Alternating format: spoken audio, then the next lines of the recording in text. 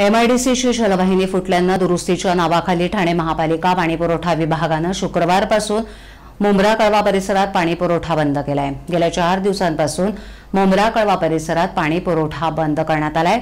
या परिसरातील नागरिकांना पाण्याच्या समस्येला सध्या मोठं तोंड द्यावं लागतंय.